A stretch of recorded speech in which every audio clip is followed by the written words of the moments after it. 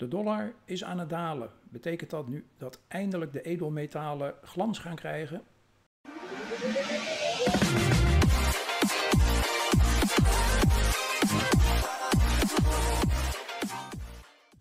Hi, mijn naam is Peter Meijburg van slimmermetopties.nl. We zagen het al een aantal dagen. De dollar die uh, verliest aan waarde. Er worden een hoop shortposities ingenomen door speculanten. En ja, dat is altijd goed voor de edelmetalen en ook voor, uh, voor grondstoffen. Die worden altijd uitgedrukt in dollars. Dus ja, hoe lager de prijs, hoe beter dat is voor die, uh, voor die andere sectoren. Laten we gewoon eens gaan kijken wat dat allemaal betekende. En beginnen we natuurlijk weer met de SPY, zoals gewoonlijk. We hebben hier de SPY op het uh, scherm. En ja, we kregen dus afgelopen week bericht dat de in inflatie nogal meeviel steeg minder hard dan verwacht. En beleggers die uh, putten daar hoop uit. En je zag mooie stijging in de SPY. Uh, ja, die is nu eigenlijk al vanaf dat punt hier dat hij op dat MA20 steun vond, is die omhoog gegaan. En je ziet uh, dat ook bij de Q's, de ETF van de Nasdaq. Prachtige stijgende lijn, nog een vuiltje aan de lucht. We kijken naar de Diamonds, de ETF van de um, Dow Jones. Ja, je ziet wel dat die toch wel tegen een weerstandje zit aan te hikken. Als ik even snel zo'n zoiets teken hier. Maar goed, uh, wel een poging gedaan om uit te breken. Is nog niet helemaal gelukt. Zou zomaar kunnen komende week. Uh, IWM, de ETF van de Russell 2000. nou, die ging een procent omlaag vrijdag. En die, uh, ja, die ETF die Zie je, die gaat al een hele tijd uh, eigenlijk zijwaarts. Hè? Die is toen uh, flink gestegen hier. toen kreeg je hier een zijwaartse periode. Toen is die eind 21 gaan dalen. En ja, sinds ja, 2022, zo op de helft, is die eigenlijk een beetje omlaag, omhoog, omlaag, omhoog, omlaag, omhoog gegaan. En eigenlijk in een zijwaartse trend terechtgekomen. Dus Misschien dat dat ook nog uh, een tijdje voortduurt. Heel goed nieuws voor mijn uh, Arwen Condor. Dat is allemaal uh, prima, zolang die trend zijwaarts gaat. Even kijken naar de AEX. Nou, die heb ik hier. Ja, die AEX eigenlijk een beetje hetzelfde als wat we met die IWM zagen, met die Russell. Het is ja, een beetje omlaag, omhoog, omlaag, maar er gebeurt niet echt veel. Vorige week uh, wel een aantal mooie bullish dagen, maar ja, zit nu tegen de weerstand van 7,81 en daar moet hij toch eerst even doorheen zien te breken. Eurostox, ja, wat je hier ziet is uh, de laatste tijd ja, een top, lagere top, nog iets lagere top. Duidt niet echt op, uh, ja, op sterkte. Alhoewel 1, 2, 3, 4, 5 ook weer 5 bullish dagen, dus de hele afgelopen week zag het er goed uit. Maar ja, die koers die zou eigenlijk deze neergaande lijn moeten doorbreken. En dan ligt er nog een weerstand op 4,69 en een beetje. Maar uh, ja, voorlopig uh, zie ik daar nog niet heel veel spannends gebeuren. Um, even kijken nog naar de fix. Want de fix die staat nog steeds heel erg laag. 13,34 en ja, dat betekent dus dat beleggers zich eigenlijk nog helemaal geen zorgen maken. En dat is ook wel weer opvallend, want we krijgen komende weken allemaal weer grote bedrijven die hun kwartaalcijfers bekendmaken. We hebben vorige week JP Morgan gehad als eerste, een van de eerste. Nou, je ziet, die ging uh, behoorlijk omhoog. Dat werd uh, goed ontvangen, die cijfers. En volgens Jamie Dimon, de CEO van JP Morgan, uh, is de consument nog steeds aan het spenderen en ziet de economie er nog steeds goed uit. Um, een andere was United Health. Die werd geplaagd de laatste tijd door een downtrend, maar die schoot ineens 7% omhoog. United Health, uh, ja, die heeft te kampen met hoge kosten. Beleggers maken zich daar een beetje zorgen over. En nu bleek, naar aanleiding van de kwartaalcijfers, dat die kosten inderdaad hoog zijn. En waarschijnlijk ook nog wel even zullen blijven, maar minder hoog dan beleggers hadden gevreesd. Ja, en dan zie je ineens 7% erbij.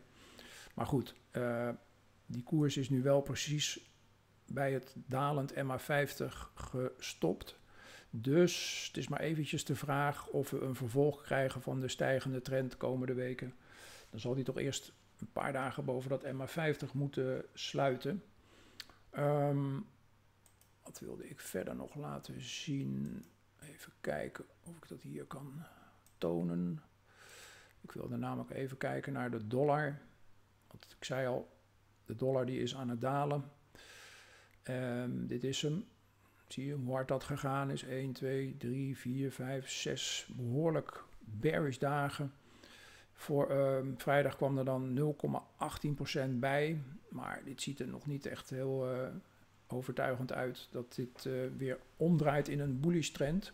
Dus uh, ja, wat ik al zei, dollar omlaag. goed voor grondstoffen, goed voor edelmetalen. Als we bijvoorbeeld kijken naar een ETF Agriculture, DBA. Nou, je ziet stijging, een beetje correctie, weer een grotere stijging, weer een hogere top, hogere bodem. Uh, 1,2% erbij afgelopen vrijdag. Dus dit ziet er uh, toch wel uh, ja, heel goed uit, moet ik zeggen. Zie je, je hebt, kan hier eigenlijk al een beetje een stijgende trend. Ja, je kan hem ook vanaf de laatste, de, deze bodem trekken. Um, als ik nu kijk naar een parallelle lijn, want vaak komt dat dan wel leuk overeen, zie je. Zit nu in het midden van dat kanaal en ja, kan zomaar naar de 22,50 gaan stijgen de komende tijd. Dus dit ziet er uh, goed uit. Voor ik het vergeet, abonneer je eventjes op mijn kanaal als je dat nog niet hebt gedaan. Uh, klik ook op het belletje, dan ontvang je meteen een eh, alert als ik weer een videootje upload. En dan ga ik eventjes verder met de edelmetalen. Want een aantal vielen mij op, zoals Fortuna Silver Mines. Je ziet, die uh, vanaf april zag je hier ook steeds lagere toppen, maar is nu toch sinds een dag of drie ja, overtuigend uitgebroken. De koers zit nu boven het MA50, boven het MA200, boven het MA20. Dus dit ziet er wel leuk uit. En ik denk dat een eerste echte weerstand op 4 nog wat ligt. Dus uh, ja, voor de gokkers onder jullie, of gokkers, maar in ieder geval uh, die in ieder geval een ritje willen maken naar boven. Het is een goedkoop aandeel. Um, andere is First Majestic Silver. Ook hier weer een neergaande lijn die doorbroken is, positief. Dus ja, Misschien dat deze ook tot leven komt. Zit nog wel onder het MA200. Dan hebben we nog Pan American Silver. Hetzelfde verhaal.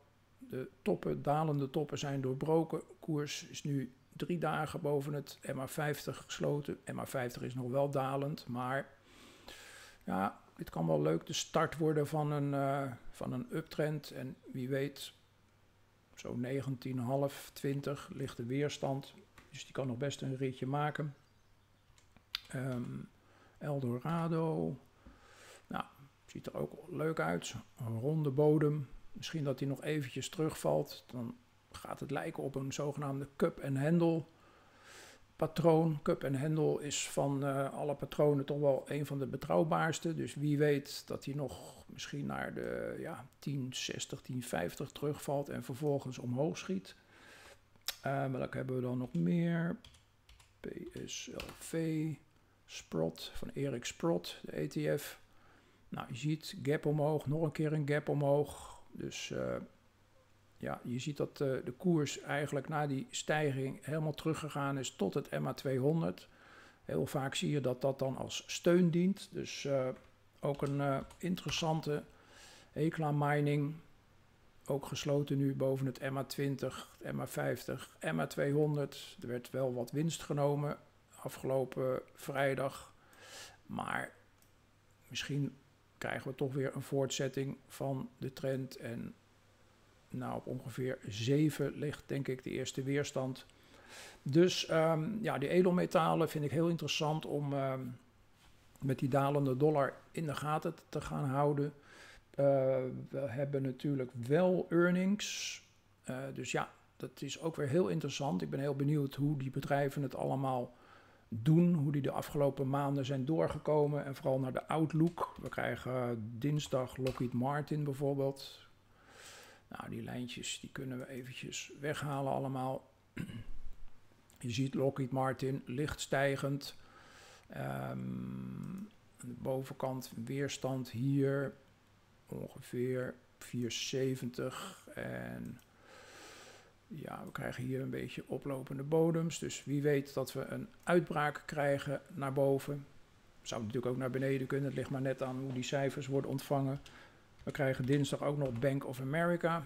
Nou, beleggers namen misschien al een voorschot erop. 1,85% ging er vanaf. Bank of America zit al een hele tijd in een zijwaarts patroon. Dus uh, benieuwd wat die gaat uh, brengen. Dan krijgen we, even kijken, woensdag Netflix. Nou, Netflix die zit uh, al best een tijdje in een stijgende trend. De laatste paar weken ook weer even zo'n consolidatie. Dus ik ben ook weer hier benieuwd hoe dat ontvangen wordt. Je kan hier natuurlijk met opties een, uh, ja, een leuke speculatieve positie opzetten. Je kan een directionele calendar spread bijvoorbeeld doen. En je kan ook vlak voordat die earnings bekend worden gemaakt. Een, um, ja, je zou een, een, een straddle kunnen, kunnen, of sorry, een strangle kunnen schrijven. Of als je het wat voorzichtiger wil doen, een Iron Condor. Dat betekent je ontvangt uh, ja, behoorlijk wat premie, want die premies die worden opgeblazen na aanloop, in aanloop naar die earnings. Er wordt heel veel gegokt natuurlijk door, uh, ja, door optiehandelaren, door speculanten. Kortom, je krijgt een mooie premie en als die earnings eenmaal bekend zijn gemaakt de volgende dag, dan zie je dat die volatiliteit en dus ook de optiepremies helemaal leeglopen. En uh, ja, met een beetje geluk dan mag jij die premie in je zak steken. We krijgen ook nog woensdag Goldman Sachs. Nou, Goldman Sachs ook een beetje zijwaarts. Die banken hebben natuurlijk de laatste tijd uh, niet makkelijk gehad.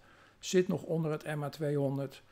Maar goed, uh, kortom, er staat een hoop te gebeuren de komende weken.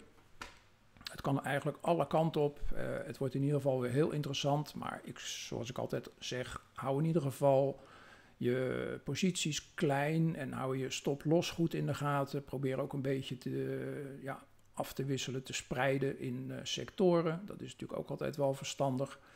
Uh, en dan gaan we gewoon kijken wat het gaat worden komende week. Dus uh, bedankt voor je aandacht en ik hoop je volgende week dan weer terug te zien. Tot dan, dag!